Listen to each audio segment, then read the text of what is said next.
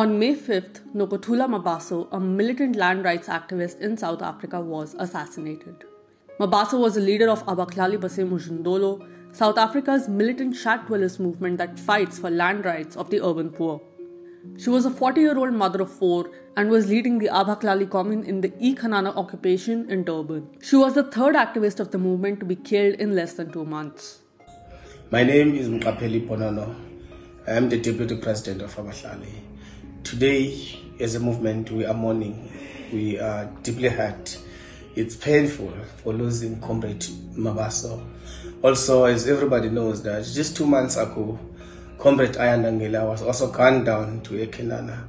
With all these killings, we are really being hurt and we are asking ourselves the question why the government, even the Minister of Police, doesn't come and assist us. But we are clear that the Ngubanes that are behind of this killing, uh, also the local ANC in that area, are also working with uh, Ofakito police station. Abahlali described her as a soldier in the movement who ensured that more than 100 families had land and roof over their heads.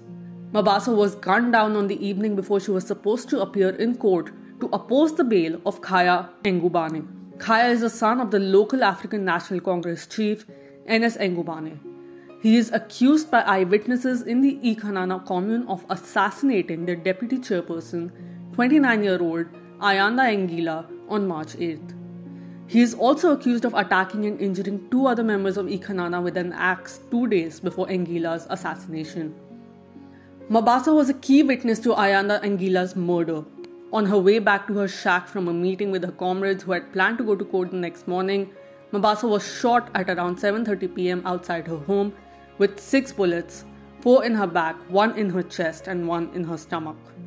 Mabaso was instrumental in developing the eKhenana commune's food sovereignty projects which included a poultry farm. This allowed the residents to generate enough revenue to sustain the community. Abahlali's statement said she played a key role in turning the occupation into a commune. However, a sustained campaign of attacks and arrests against the commune's leaders by the ruling ANC government depleted the community's savings and the projects began to suffer. Mabaso took charge at that time and ensured that the projects that sustained the commune survived. Since 2009, the movement has lost 23 leaders to assassinations. Abahlali stated, We have built a commune in which, according to the principles of Abahlalism, land is not bought and sold and shacks are not rented. The local ANC wants the land in eKhenana to be used for private profit and not for communal purposes. The ANC is threatened by a woman who has led the occupation and continued with the commune despite the severe repression over the years and when other leaders are in jail, in hiding, or have been assassinated.